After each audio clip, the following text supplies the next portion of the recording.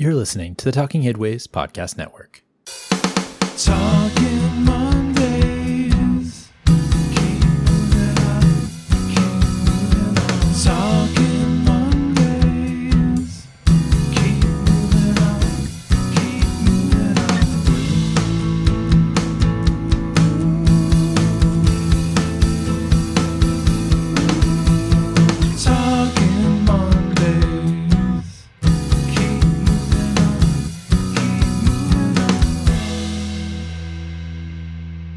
Happy Monday. This is Mondays at the Overhead Wire, sponsored by our generous Patreon supporters. I'm Jeff Wood, your host, and joined by Han Solo. That's right, it's another solo show, but I want to encourage folks to go back and listen to last Monday, the last Monday's episode with Joe and Aaron, if you haven't already. Also, we've got a great episode coming next week with Chrissy and a special guest, so, stay tuned for that one.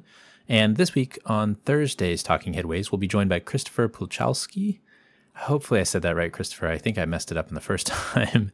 and Andrew Simpson from the Philadelphia Office of Transportation and Sustainability, Otis office at Philadelphia. We'll talk about some of the regional rail plans that that are coming up, um, some of the really cool initiatives that they're going to talk about, and uh, we'll have some bonus Patreon material coming out with them as well. So stay tuned if you're a Patreon supporter to those pages. And I think we had a Carlos Martin's one up now with some extra an extra hour, I believe, of content uh, with Carlos from the last time we chatted with him. And we're going to have some more coming up as I've started to do a little bit of bonus stuff with folks as they come through the podcast scene. So check that out if you get a chance. And I hope that folks get a chance to listen next Monday uh, with Chrissy and then the uh, Thursday with Talking Headways. So solo show today, but we've got some really good stuff coming up for you as well. Not that this show should be diminished at all. There's lots of stuff to talk about. Um, and for how things are going a little bit more generally with me, uh, I got my first vaccine shot, and I'll get my second one in a couple of weeks. I'm super excited about that, and to get that over with. I'm not a hu- I'm not a huge fan of needles. Uh, for folks that know me, they know that giving blood, needles, all that stuff is just freaks me out. I think maybe that some of my side effects from the vaccine were from some needle anxiety a little bit. Um, though I had a, a bit of a sore arm for for like one day maybe, uh, and then it went back to normal. But if you're on the fence about getting a vaccine, definitely go and do it.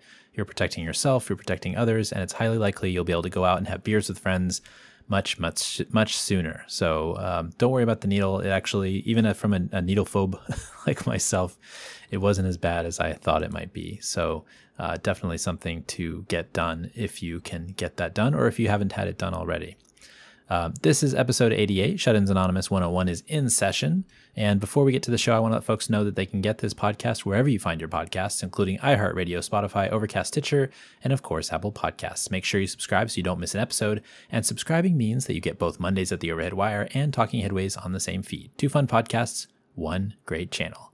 So thanks to folks to who subscribe through podcatchers. It's really awesome that you guys keep coming back to the show. We really, really do appreciate it. So, with that being said, uh, let's go to the news. This is part of the show where we talked about some news items from the Overhead Wire newsletter that were popular. So, people uh, subscribe to the newsletter, they click on items that they're interested in reading about, and we take the most clicked items and we turn them into some stories for you all. And uh, so, let's talk about a couple today. $200,000 and no permit. So Jason Yu has spent $200,000 with nothing to show for it but an empty storefront and has now given up his dream of opening an ice cream shop in San Francisco. Permitting and planning bureaucracy in the city are preventing small businesses from opening in parts of the city with high storefront vacancies. It was hoped that a proposition that passed in November would help expedite permitting, but only two businesses have applied. That was by Heather Knight at the San Francisco Chronicle. So this is insane. Uh, we have had so many empty storefronts in San Francisco that aren't being filled up because of the stupid process. We did pass Prop H last fall, which would force the city to complete most permit reviews in 30 days and limit the notifications for certain permits. But as I just said, only two businesses have applied for that. I hope more will get a chance, um, but ultimately, it's not enough at the moment to get some of these businesses going. And now, this person, Jason Yu, is out $200,000 uh, of just paying rent to the building owner. I hope he gets kind of a discount on that because that's you know that kind of uh, is not really good. Uh, I, I don't know how that all works, but it's unfortunate that he basically had a space, he had a business idea, Uh, but don't even get me started on the ice cream shop across the street that made him get a lawyer and an extra trip to the planning commission. So I don't understand why they don't understand the benefits of agglomeration. It could have been the ice cream ice cream district, not the diamond district, the ice cream district in San Francisco at over there at I think it was like 20th and Valencia or something along those lines. But it's really frustrating. You know, there's a bunch of uh, empty storefronts on the street uh, that I live by, and it's just frustrating to see them always empty all the time. And even some of the stores that have been there, like shoe shops or anything else, they have gone by the wayside. Some places are even leaving San Francisco. They were doing, you know, some of them were doing so before the pandemic, but um, you know, it's it's some of the the store owners, I guess, or feel like they can get more rent, and so these places sit empty for a long time as they're waiting for their unicorn. There's a place on the corner of the street up up the hill here that um, wants to sell. I think it's medical marijuana, but they uh, put up a, a sign saying that they they had to apply, and then it all disappeared, and I haven't seen anything from it since. And it's been like six months to a year. So I don't know. I don't know what the deal is with the storefronts, and I hope that some of this stuff can get fixed because it's ridiculous. I mean, we say that we're opening and welcome and we want people to come here to San Francisco and enjoy the city, but then we don't let people start businesses. So how are we supposed to, you know, get anything done that way? So it's frustrating. Okay, next up, saving cities from super gentrification. Sociologist Jenny Stuber writes in her new book about how Aspen, Colorado has created a parallel affordable housing market in a place where the median home price is around $4 million. She also discusses a building moratorium to quell super gentrification that involves height limits and public space requirements. This is by Phineas Rueckert at Next City. Um, so this was a really super interesting read. Uh, Jenny talks about you know kind of going to visit her her dad in uh, Aspen when she was younger, and the kind of the bifurcated nature of housing in the city. And they have affordable housing for people who live there, but then there's just this crazy market for rich people who come to stay for the summer or have a a, a winter house for skiing or whatever that might be.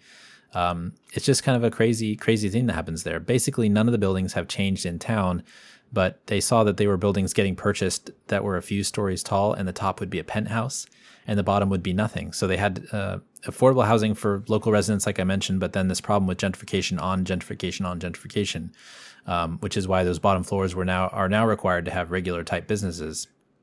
But look, anyone telling you that our building uh, problem or problem generally with housing is too much uh, for the rich never seems to see this coming, even though there's proof everywhere that we need to build more housing. I'm not advocating necessarily. You've heard me on the show many times say I want affordable housing, I want uh, public housing, I'd like uh, market rate housing, all of it. Let's do all of it. But it seems like nobody can get their their stuff together to to get it going. I know there's restrictions and things that happen uh, here in San Francisco and, and all over the country that make it hard. And uh, there's even like now with the pandemic, there's this mad dash for housing uh, in the suburbs and even in cities around the country. I think New York and San Francisco are a bit of outliers. But it's crazy that we have this problem, and um, you know this problem kind of is amplified in places like Aspen, where there's a lot of rich people that want to go to a place and there is a bifurcated market. It's really it's really interesting to read this piece. I hope folks get a chance to check it out. Um, Next City, we'll have as usual have all this the the notes and the show notes. We'll have all of the links that folks can click through to kind of get you to read the whole article. But um, you know, like I said, the rich will always outbid everybody else to the detriment of an impl- entire building or an entire block in a city. And uh, that's just the frustrating part about what capitalism is. It uh, allows people to do that, and we need that public housing. We need that um, that housing for for folks that can't afford to pay as much as maybe some other folks, and hopefully we can get there at some point. So check this piece out. It's interesting, uh, an interesting look at a city and a case study in the United States uh, that's not Vienna and it's not somewhere else outside. Just fascinating. Uh, and speaking of housing, a housing plan in the Senate. A, bipart- a bipartisan proposal from the Senate, spearheaded by Sen- Senator Amy Klobuchar, would offer 300 million in grants for small and medium-sized cities to reform zoning in a way that allows for more housing production. Many smaller cities don't have the in-house expertise to create such reforms, but some experts are skeptical as many cities that have the resources don't want to go through the process. So this is by Jerusalem Demsas in Vox. So what, under- what I don't understand of this makes sense, it's not for your bigger cities, but rather for the smaller ones that don't want to turn out like the big ones. So I've been telling everyone who will listen for years that Austin, for example, is becoming San Francisco, and if they continue to restrict development downtown and in the core neighborhoods, it's going to get really ugly really fast. And I think you're starting to see some of that now, just this really crazy price hikes um, when you don't build housing, as we talked about in the previous discussion. Um, but for much smaller cities, it would be nice to have a universal code that's designed uh, to blow up the existing code of, you know, of, of sprawl and single family housing and get people some sort of a form based code or some sort of a way to build missing middle housing. Um, and a lot of the aesthetic stuff that, for example, that or go into those codes that aren't necessary or and are kind of dumb uh, should just be taken out. I mean, there's a lot of stuff where people want to protect the neighborhood character or whatever, but we've cycled through all this stuff before zoning so many times before, and it seems like there's no reason to not get with the program and actually build more housing. I've said this many times, kind of sick of saying it over and over again. You know, if a house takes up four units on the same footprint of one unit, who cares aside from all the busybodies? Let's just get it done, do it, build more housing, and uh, you know, maybe we, maybe I'll stop complaining on the podcast about it. Next up, people working from home will spend less downtown. The University of Chicago researchers have uh, believe that spending in cities will drop up to 10% because more people will be working from home. The changes don't bode well for businesses that depend on downtown workers and foretell an uneven economic recovery from the COVID 19 pandemic. This is by Ben Winck in Business Insider. I mean, this is true if we have a lot more people working from home, right? Um, but we really don't know what's going to happen. It could be a situation where people who usually just went home after work will now stick around more, maybe. Uh, if they're only coming to the office three days a week, maybe they'll stick around downtown and spend more money. Or from a traffic perspective, I wonder uh, if this is not based in, you know, this is not based in science. It's just my thinking out loud. Um, but I wonder if people, uh, because there are more people working from home, there will be an even greater need for transit service because the increased traffic, uh, because more people think that they'll be able to drive.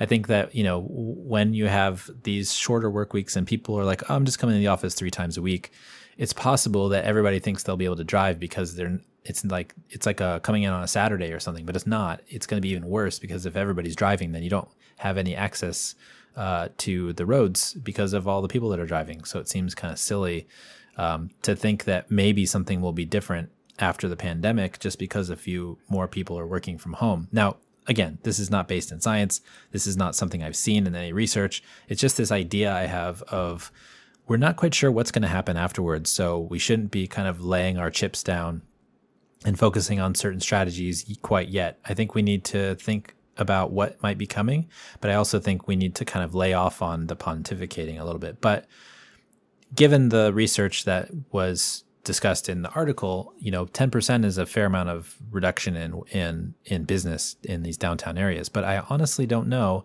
if that's actually going to be the case or not. I'd like to think that it wasn't the case because I really do like downtown areas and I hope they stay strong. Um, but you know, we aren't quite sure what's going to happen. So um, I could see some really weird scenarios coming out of the post-pandemic world. Um, I'd be interested to hear everybody else's thoughts too. Like, what do you think might actually happen from a, just a um, hypothetical standpoint. What do you think might happen? I I've said this before. I think a few times that I'm not sure, so I don't know if I can make any predictions. So um, you know, we'll see. We'll see what happens. But that's an interesting research. It's five, 10, 5 to ten percent might be reduced in, in downtown business. But that also feeds into this next piece, which is rethinking commuter rail service post pandemic. It's unknown whether commuters will return to offices at the same level as before the pandemic, but whether they do or don't, it gives transit agencies the ability to rethink regional rail for trips that don't involve a workday commute. Some commuter railways are already looking at opportunities to operate more like rapid transit. This is by Jake Blumgart at Governing. Uh, Jake is a great writer uh, hopefully f- more folks check this piece out. This one got a ton of uh, clicks on it. People were really interested in this story.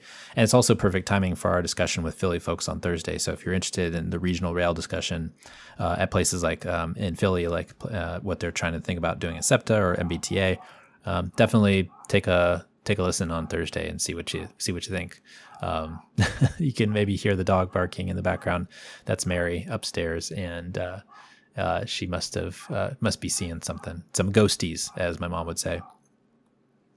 But for this regional rail piece, I think that um, you know we're, seeing some interesting numbers come out of the pandemic from transit.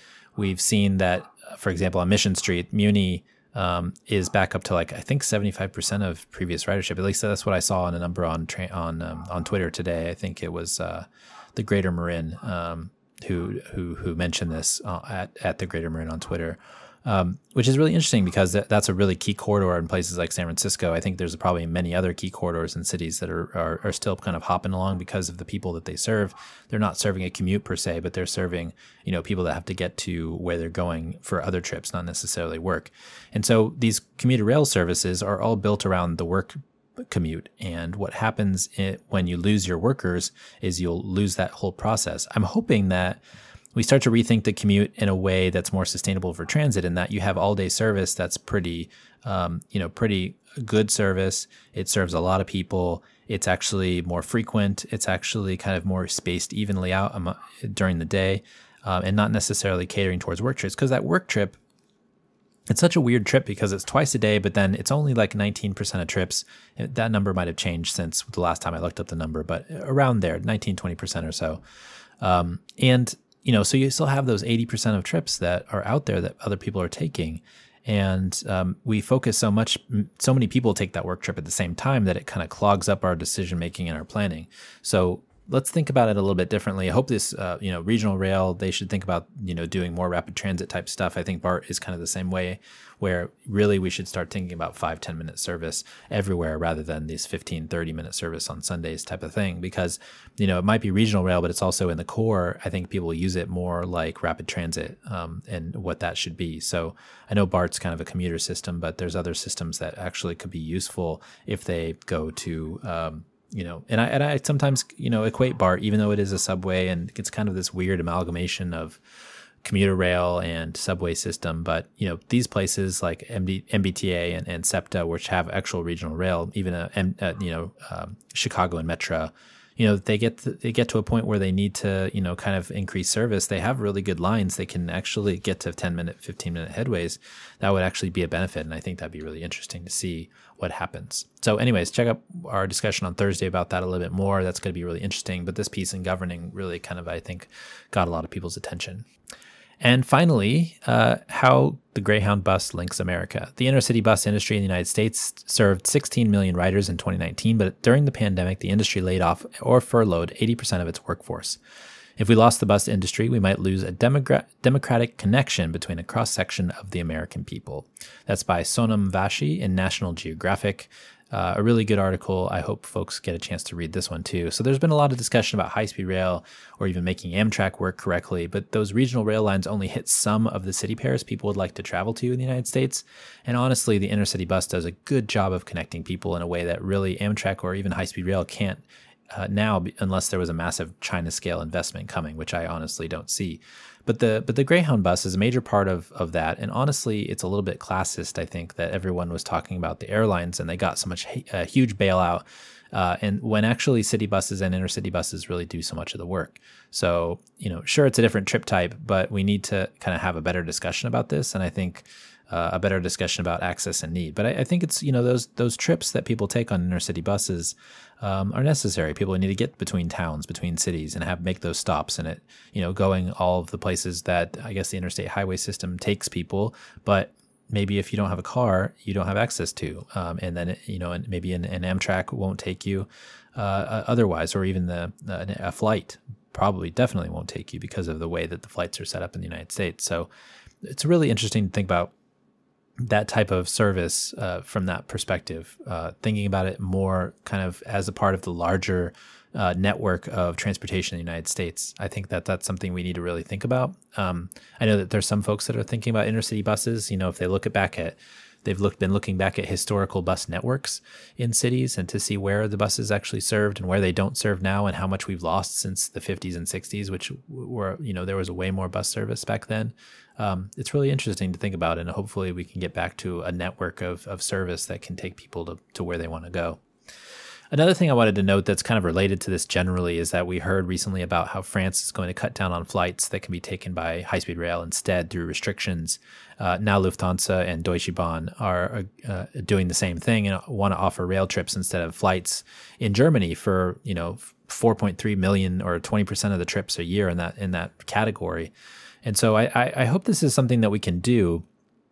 Now, we can't do it necessarily with rail because we don't have the infrastructure yet, uh, and it's probably a long time off if I'm being honest. But you know, perhaps we will in the future, and it, and it shows that the levels of investments that we're behind versus other countries um, is is a lot, and it to make these types of decisions that will affect emissions, which is you know kind of part of the goal is to reduce emissions and make things more efficient. But we're up against that climate change wall, and I think that we need to kind of get to that point where we can make these um, these pushes. And I think that's part of the reason why California's high speed rail makes so much sense to me is because you can't build any more runways in San Francisco or Los Angeles. I know that people want to talk about the Central Valley and what's going on there, but the ultimate connection is between that huge city pair of San Francisco and Los Angeles and all the connections you can make along the way. I mean, Bakersfield is one um, that I would actually frequent because my sister lives there. But you know these are really important discussions to have. And i maybe those buses uh, you know those inner city buses are the way to kind of make those connections. And uh, you know i don't think anytime soon that we're going to be cutting out air trips for in trading for in inner city buses because they just don't go as fast. But um, it's something I hope we think about in the future because we are coming up against a wall on climate change, and these are really big decisions that are being made by by Lufthansa and Deutsche Bahn and uh, SNCF, which is the French high speed rail company, and and Air France. So I hope that um, you know that kind of catches on, but you have to have that network uh, available to actually do that. So. Uh, lots of interesting stuff in the last few weeks. I hope um, you know folks get a chance to check some of these links out. Uh, that's this week's news. So let's do a real quick shout out to our Patreon supporters. So this week and every week, I want to thank our generous Patreon supporters. You guys are awesome and keep the show going by listening and supporting each month. And this show and Talking Headways really wouldn't be here without it. So thank you very much. Uh, we really appreciate it. You can support the show by going to patreon.com slash the overhead wire if you if you're interested and inclined in doing so. We've had people sign up each month during the pandemic, so we're super appreciative of that. $2 a month will get you some stickers, and a $10 a month will get you a bus only scarf. That's right, we have the bus only scarves, and uh, we're sending them out. So uh, I know it's getting towards the end of, uh, of the cold period in the United States. But um, but maybe you can get some for next year, or maybe you live in the San Francisco and it's cold all year round because of the fog. Who knows? But they're really good for meetings and public meetings and those types of things. So so if you want one of our bus only scarves, you can get that uh, in addition to being a $10 month uh, supporter on Patreon by going to the website, theoverheadwire.com. I also want to mention that we did produce an audiobook version of Raymond Unwin's 1909 classic, Town Planning and Practice. Uh, if you want to get your hands on one, go to raymondunwin.com. This book was super fun to produce. And if you're a history of planning fan, it's the very first one listed on the American Planning Association's 100 Essential Books of Planning. So we had a lot of fun putting that together we we hope that folks will take a listen. It's like listening to a podcast. Each chapter is a new is a new episode on a podcast. If you go to um, the if you go to the raymondunwin.com and purchase from there, uh, we really appreciate that, and and uh, hopefully the, some folks will listen because I think it's a really good text. Okay, so listener questions and comments. So we didn't have a listener question for this week, but I'm going to save it because I think that it will be more fun having Chrissy's answer in there as well next week. So we'll hear from that one next week. Um, but feel free to send questions and comments to on any of the topics we cover, uh, or you can do so by emailing me at theoverheadwire at gmail.com. And if you have any comments or questions, feel free to tweet at us or comment on any of the social sites where the podcast appears. And finally, as you have come to expect puppies and butterflies, this is the part of the show where we talk about something fun, interesting, or maybe it just didn't fit in the other sections. Okay, so let's get down to the serious stuff, uh, or not so serious. so I've noticed lately that in the Netherlands, uh, there's been really some some strange news lately. The first one I noticed and I posted on my Twitter feed was this image of a huge super yacht traveling through a Dutch canal and going out on its way to sea. And so apparently the Dutch shipyard is inland, so the yacht needs to be towed through some small Dutch town canals. And on its way through, there's a number of people that have taken pictures of this weird juxtaposition between the yacht, which is for the ultra rich, obviously, and these small Dutch towns, uh, these buildings that are obviously um, they're they're prototypically Dutch architecture, and it's really fascinating to see these things. So um, I'll put that link in the show notes, but I thought that was really fascinating to see that. Um, and, and it's kind of Dutch day here at, at Puppies and Butterflies because the second thing I saw uh, recently was from actually today, where um, a floating farm in the Netherlands continues to have cows falling overboard into the water. and uh, I think that's kind of funny. They they survived. They're okay, which makes it even you know which makes it okay. I think to laugh a little bit, but. Um, this is likely to be a hazard for any of those future seafaring city plan scenarios that we have, uh, you know, uh, floating out there. Uh, no pun intended. Um, so I can just see like a specialized cow lift for whenever the cows fall in the water. Um, and uh, it's funny because the firemen who had to help lift this cow out of the water said, you know, they've they've done a lot of animals, but mostly it's cats out of trees, not uh, cows out of the water. And I think that's pretty funny. So the farmer says that the cows have to be rescued from lakes and regular and regular water on land too. So who knows if this is actually a normal occurrence for them rescuing cows and such. But um, if we ever get to that water world type of scenario, you have this uh, kind of a weird problem of cows falling off your off your farmland. Um, just some weird stuff. So, anyways, uh, thanks for joining us this week. Uh, you can find me on Twitter at the Overhead Wire or at theoverheadwire.com. Thank you for joining us at Mondays at the Overhead Wire, and thanks to our generous Patreons for supporting this week's podcast and every week's podcast. We really appreciate your support. Next week, we've got a great show, so come back next Monday, and we'll see you on Thursday as well. Talking